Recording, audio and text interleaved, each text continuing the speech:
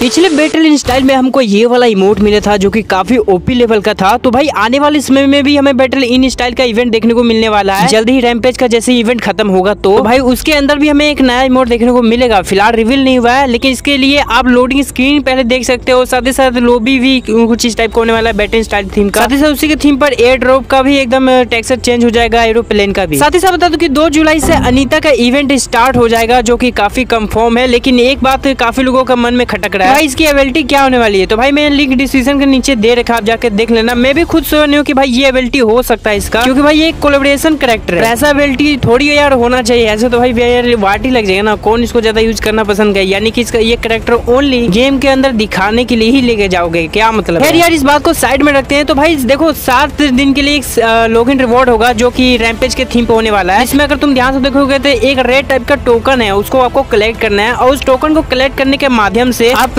Boost कर पाओगे? मतलब एक फुट दस फुट ऐसे अगर बूस्ट करते हो, आराम से आपको फीमेल वाला बंडल मिल जाएगा। ठीक है? तो ये सारे रिवॉर्ड्स ऐसा दिखाया गया जो कि पे देख पा रहे होंगे। ये जो टोकन होंगे साथ ही साथ गेम खेलते वक्त भी मिलेंगे। और एक और टाइप का टोकन होगा जो उसके माध्यम से और रिवॉर्ड्स मिलेंगे। और साथ ही साथ बता दूँ कि रैमपेज के लोगी रिवॉर्ड्स के थीम पर आपको एनर्जी इमोट मिलेगा, जो कि आपको स्क्रीन में देखने को मिल रहा है।